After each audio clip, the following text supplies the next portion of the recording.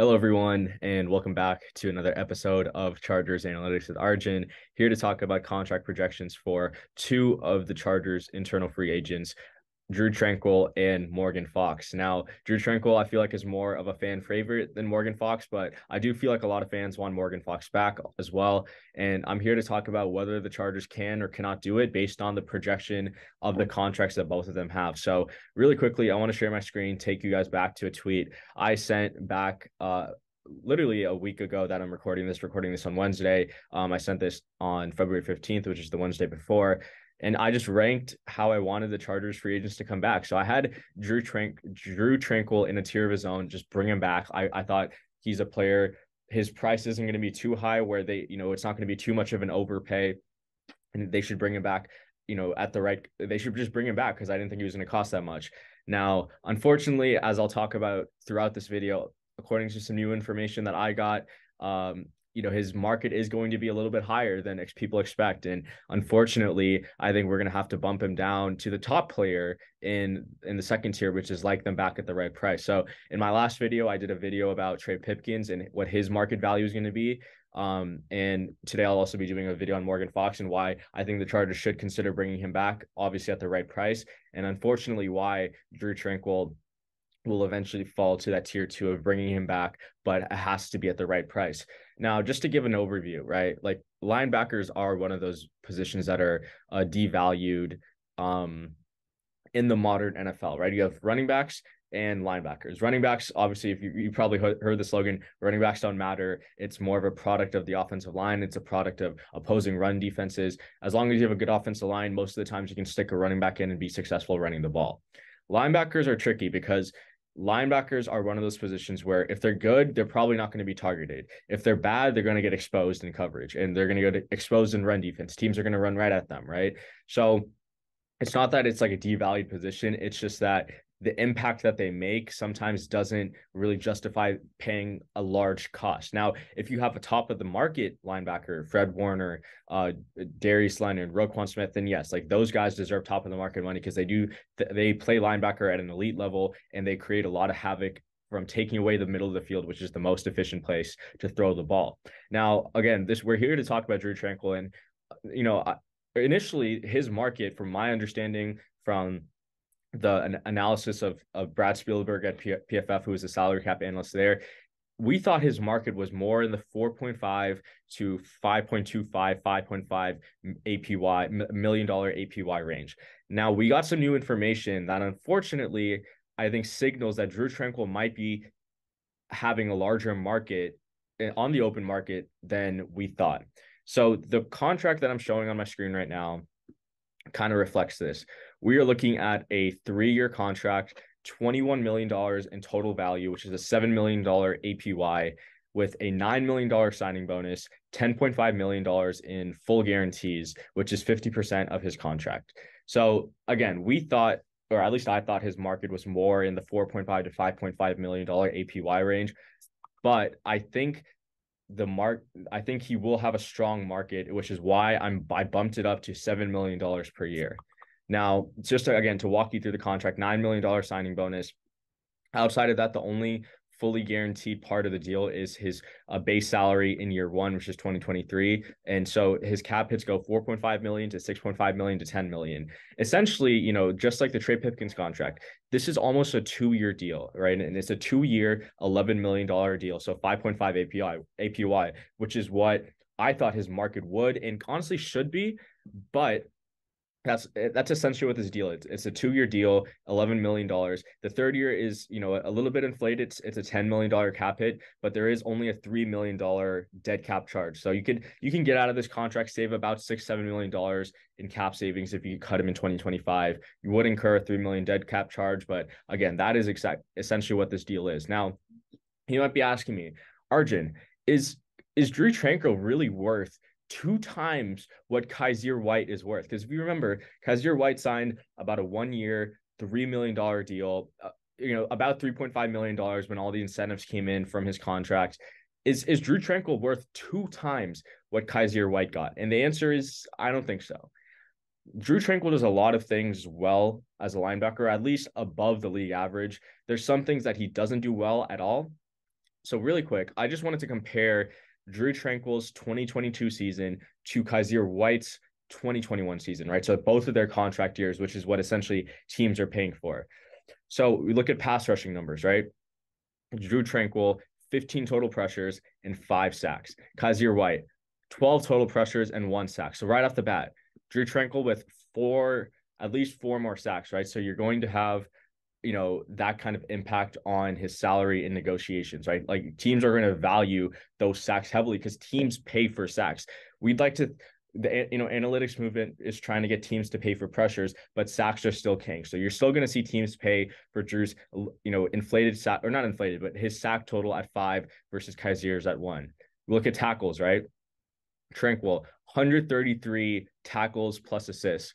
Kyzir a little bit higher than that 145 tackles plus assists right so you know very similar in the tackling department the only difference Drue Tranquill missed 24 tackles this year. He had a 15.3 missed tackle rate compared to Kyzir's 7.1 missed tackle rate. So that is that is I think the one area of Tranquill's game where I think he's really not that good at. He's not a good run defender. And if you remember, Tranquill and Kyzir both converted safeties from Notre Dame. So it's not too surprising that both of them kind of struggle in, in run defense and Tranquill especially um, has has struggled in run defense. You know, I think especially this year when he took on more of an expanded role, he was the green dot. He was the defensive play caller on the field when when he took over for Derwin.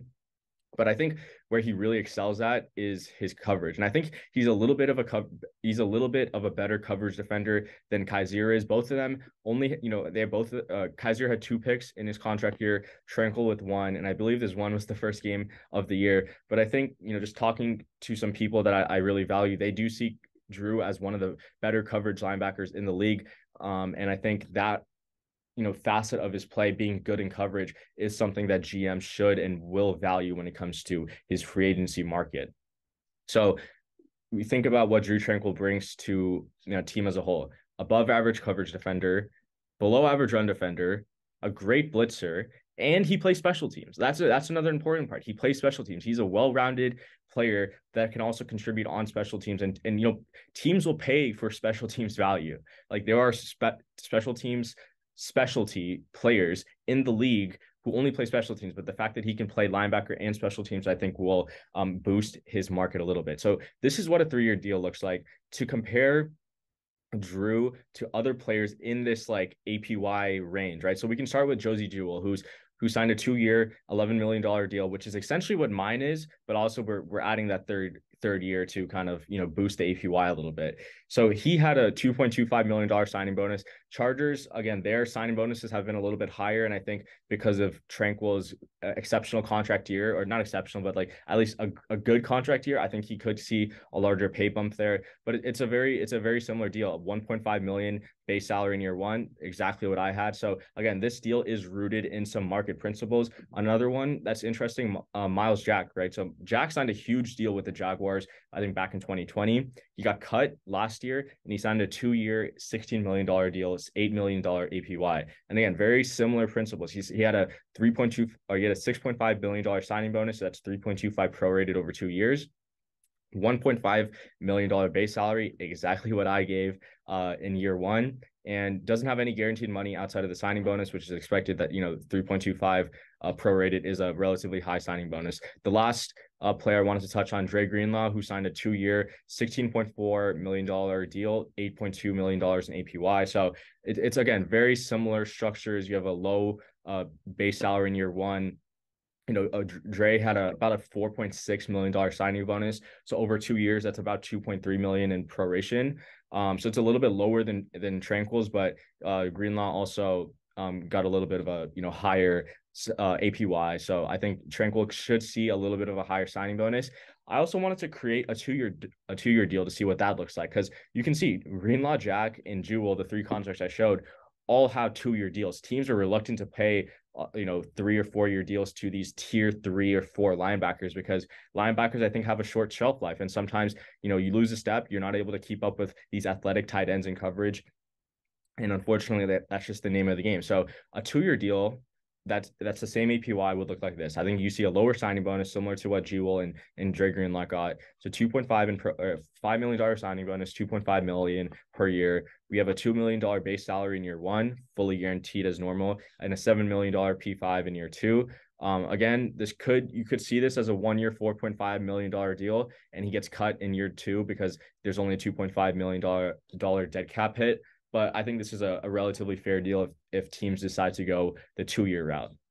Now, really quickly, I also want to just create to create some a contract in case Tranquill's market comes in what I expected it to come in at after the season was over, which is more of the 4.5 to 5.5 million dollar range. So this is what a deal would look like. So it's three years, 16.5 million dollars uh, in total value, 5.5 million in APY with a six million dollar signing bonus, and this number should be 15 hundred. Yeah, and so forty five point five of the contract, uh, fully guaranteed. So this is what you know a, a three year deal could look like if Tranquill's market comes in a little bit lower than what other people think and what I think it it will come in at. But um, this is a, what a three year deal will look like. You, you know, pause your screen if if you're watching this on YouTube, and this is what a two year deal would look like at that same cap hit, a little bit higher cap hit or a little bit higher APY in total value for a two year deal. Um, but again, it's it's again rooted in the principles of what the the linebacker market has shown. So that is what Drue Tranquill's contract is. You know, I'm expecting to look like. I also created it for created a contract for Morgan Fox. Fox is interesting because this is going to be his fourth contract that he signed. He signed a two year deal with Carolina after he, after he left the Rams. One year deal for 1.1 million dollars for uh, with the Chargers, which was a you know a great uh, value signing for the Chargers at the time, and I think he outperformed that contract significantly. Um, I think his contract or his value is going to rise, and I don't really know if he's going to be able to resign with the Chargers or go elsewhere. But this is what I think his value will be. Um, if you go to pff.com and you look at the free agents tab, you can also see that my coworker Brad Spielberger also has him at this number, which you know I think it's good when me and him agree on something. So um, this is what a contract will look like two years, $9 million for Morgan Fox, a $3 million signing bonus, uh, base salary in year one, two million, base salary in year two, four million, with his base salary in year one fully guaranteed. So it's you know five million of the nine, five million of the nine million total value is fully guaranteed, which is fifty five point six percent. Again, there's not a lot of players like Morgan Fox who've kind of switched teams, you know, significantly year to year after their first contract. I think at this point in his career, he's he's only 28, but he's now signed, you know, two deals which are two years and one year in length. So I think he is going to be a shorter contract length type of guy to finish us finish out his career, which is why I am going with the two year deal.